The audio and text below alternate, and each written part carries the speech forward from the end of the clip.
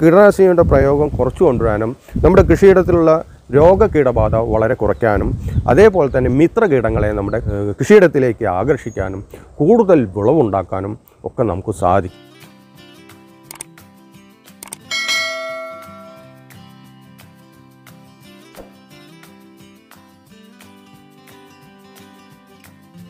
പ്രിയപ്പെട്ട കർഷക സുഹൃത്തുക്കളെ പുതിയൊരു വീഡിയോയിലേക്ക് സ്വാഗതം. ചെണ്ടുമല്ലി നമ്മുടെ കൃഷിയിടത്തിൽ കൃഷി ചെയ്യുമ്പോൾ ഒരുപാട് ഗുണങ്ങളുണ്ട്. ജൈവ കൃഷിയിൽ ഒരുപാട് ഗുണങ്ങൾ നമ്മുടെ ചെണ്ടുമല്ലി കൃഷി ചെയ്യുന്നതുകൊണ്ടുണ്ട്. അത് അറിഞ്ഞു കഴിഞ്ഞാൽ നമ്മുടെ ഓണക്കാലത്ത് മാത്രമല്ല എല്ലാ സമയത്തും നമുക്ക് ചെണ്ടുമല്ലി കൃഷി ചെയ്യാൻ നമുക്ക് നമ്മുടെ കൃഷിയിടത്തിൽ കൃഷി ചെയ്യാൻ തോന്നും. എന്തുകൊണ്ടാണ്? അതിൽ പ്രധാനപ്പെട്ട ഒരു അഞ്ച് കാര്യങ്ങളുണ്ട്. ആ അഞ്ച് കാര്യങ്ങൾ അറിഞ്ഞു കഴിഞ്ഞാൽ കൃഷിയിടത്തിലേക്ക് ആവശ്യമായ കീടനിയന്ത്രണത്തിനും മറ്റും നമ്മുടെ കൂടുതൽ ഉൽപ്പാദനത്തിനും ഒക്കെ വളരെയേറെ സഹായകരമാണ് നമ്മുടെ കൃഷിയിടത്തിൽ നമ്മൾ ചെണ്ടുമല്ലി കൃഷി ചെയ്ത് കഴിഞ്ഞാൽ. പ്രധാനപ്പെട്ട അഞ്ച് ഗുണങ്ങൾ എന്തൊക്കെയാണ്? അത് വീഡിയോ മുഴുവനായിട്ട് കാണാൻ ശ്രമിക്കുക. എന്നാൽ മാത്രമേ ആ അഞ്ച് ഗുണങ്ങൾ എന്തൊക്കെയാണെന്നുള്ളത് മനസ്സിലാക്കാൻ പറ്റുള്ളൂ. പ്രധാനമായിട്ട് നമുക്ക് പരാഗണം നടത്തുന്ന വൻതേനീച്ചകളുണ്ടല്ലോ. വൻതേനീച്ചകളുടെ സാന്നിധ്യം അതേപോലെ തന്നെ പൂമ്പാറ്റകളുടെ സാന്നിധ്യം അതേപോലെ തന്നെ ഈ തേൻ കൊടുക്കുന്ന വണ്ടുകളുണ്ട്. ആ വണ്ടുകളുടെ സാന്നിധ്യമൊക്കെ ഒരുപാട് നമ്മുടെ കൃഷിയിടത്തിലേക്ക് ആകർഷിക്കാൻ സാധിക്കും. അങ്ങനെ ആകർഷിക്കുമ്പോൾ എന്താ ഗുണമെന്ന് പറഞ്ഞാൽ നമുക്ക് കൂടുതൽ പരാഗണം ഇങ്ങനെയുള്ള ഈ വൻതേനീച്ചകളും തേനീച്ചകളും വൻ വണ്ടുകളൊക്കെ നമുക്ക് പരാഗണം നല്ല നല്ല രീതിയിൽ നടത്തുകയും കൂടുതൽ പരാഗണം നടക്കുകയും ഉൽപ്പാദനം കൂടുകയും ഗുണമേന്മയുള്ള പച്ചക്കറി പഴവർഗങ്ങൾ നമുക്ക് ഉൽപ്പാദിപ്പിക്കാനൊക്കെ സാധിക്കും. നമ്മുടെ കൃഷിയിടത്തിൽ നമ്മുടെ ചെണ്ടുമല്ലി കൃഷി ചെയ്യുമ്പോൾ ഒച്ചുകൾ അതേമാതിരി മറ്റുള്ള ഇഴജന്തുക്കൾ നമ്മുടെ കൃഷിയിടത്തിലേക്ക് വരുന്ന സാഹചര്യം ഒഴിവാക്കാൻ സാധിക്കും. എന്തുകൊണ്ടെന്ന് പറഞ്ഞാൽ ഈ ചെണ്ടുമല്ലിയുടെ രൂക്ഷഗന്ധം പലപ്പോഴും ഇഴജന്തുക്കൾക്കും മറ്റുള്ള മൃഗങ്ങൾക്കും വന്യമൃഗങ്ങൾക്കും അതേപോലെ തന്നെ ഒച്ചുകൾക്കും ഉള്ള ഒരു സാഹചര്യം ഉണ്ടായിരിക്കില്ല. അതിന്റെ രൂക്ഷഗന്ധം കാരണം.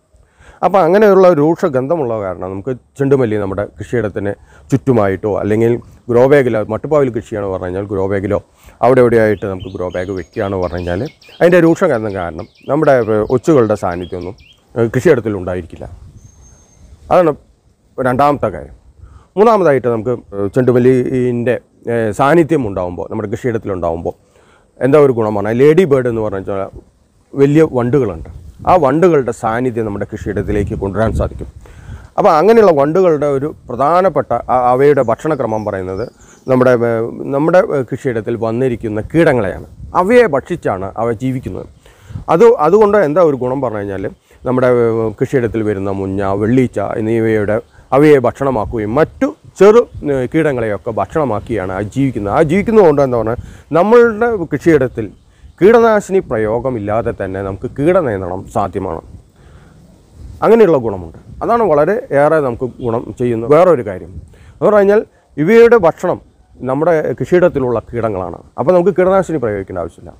ഇങ്ങനെയുള്ള കീടങ്ങളുടെ ശല്യം ഒഴിവാക്കാൻ സാധിക്കും. അങ്ങനെയുള്ള ഗുണങ്ങളുണ്ട്. അപ്പോൾ നമ്മൾ ഇങ്ങനെയുള്ള ചെണ്ടുമല്ലി നമ്മുടെ കൃഷിയിടത്തിൽ എല്ലാ സമയത്തും നമ്മൾ കൃഷി ചെയ്യുകയാണെങ്കിൽ മാത്രമേ അങ്ങനെ കീട നിയന്ത്രണം നമുക്ക് സാധ്യമാവുള്ളൂ കേട്ടോ. അതും കൂടി നമ്മൾ ചെണ്ടുമല്ലി വളർത്തി മുട്ടിന്റെ പരുവമാകുമ്പോൾ മുട്ടിന്റെ പരുവമാകുമ്പോൾ തന്നെ കമ്പോസ്റ്റ് ചെയ്യുകയാണെങ്കിൽ അതല്ല പറഞ്ഞു കഴിഞ്ഞാൽ ഫ്ലവറിങ് കഴിഞ്ഞ ശേഷം അതിന്റെ സീസൺ കഴിഞ്ഞ ശേഷം കമ്പോസ്റ്റ് ചെയ്യുകയാണെങ്കിൽ ഇപ്പോൾ നമ്മൾ കമ്പോസ്റ്റ് ചെയ്യുന്ന പല അടുക്കള മാലിന്യം സംസ് കമ്പോസ്റ്റ് ചെയ്യുന്നുണ്ട് മറ്റുള്ള കമ്പോസ്റ്റ് ഉണ്ട് ആ കമ്പോസ്റ്റിൽ നമുക്ക് ഇങ്ങനെയുള്ള ചെണ്ടുമല്ലിന്റെ ഇലയും പൂവും വേരും എല്ലാം കൂടിയിട്ട് കമ്പോസ്റ്റ് ചെയ്ത് കഴിഞ്ഞാൽ അങ്ങനെയുള്ള കമ്പോസ്റ്റുകൾ നമ്മൾ ഗ്രോ ബാഗിലായാലും ശരി കൃഷിയിടത്തിലാണെങ്കിലും നമ്മൾ ഇട്ട് കൊടുക്കുകയാണ് പറഞ്ഞു കഴിഞ്ഞാൽ മണ്ണിലൂടെ വരുന്ന രോഗങ്ങളെ പ്രതിരോധിക്കാനും അങ്ങനെയുള്ള കീടങ്ങളെ നിയന്ത്രിക്കാനൊക്കെ സാധിക്കും. പ്രധാനമായിട്ടും എന്താണെന്ന് പറഞ്ഞാൽ തക്കാളി മുളക് വഴുതനങ്ങ അതേമാതിരി പയർ അങ്ങനെയുള്ള വാട്ടരോഗങ്ങളും തണ്ടിചീയൽ അതേമാതിരി തന്നെ വേരഴുകൽ നിയമവേരകളുടെ ആക്രമണം അങ്ങനെയുള്ള രോഗങ്ങളൊക്കെ നമുക്ക് ഒരുപാട് നമ്മുടെ ചെടികൾക്ക് വരാറുണ്ട് അല്ലേ?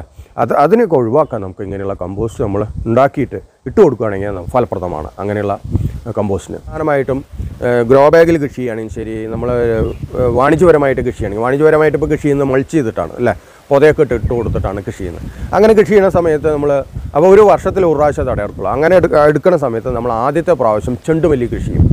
ചെണ്ടുമല്ലി കൃഷിയും ചെണ്ടുമല്ലി കൃഷി ചെയ്ത് കഴിഞ്ഞാൽ എന്താ ഒരു ഗുണം പറഞ്ഞു അങ്ങനെയുള്ള കൃഷി ചെയ്ത ചെണ്ടുമല്ലി പറിച്ചെടുത്തിട്ട് അതിൽ നമ്മൾ വഴുതനങ്ങ അല്ലെങ്കിൽ മുളക് തക്കാളി അങ്ങനെയുള്ള പറഞ്ഞു കഴിഞ്ഞാൽ ബാക്ടീരിയൽ വാട്ടം മറ്റുള്ള വാട്ടരോഗങ്ങളും കൂടുതൽ വരുന്ന വിളകൾ ഫ്യൂസോറിയം വാട്ടം അങ്ങനെയുള്ള വരുന്ന രോഗങ്ങൾ വരുന്ന പയറുവർഗങ്ങൾ അങ്ങനെയുള്ള വിളകളൊക്കെ ഉണ്ടല്ലോ.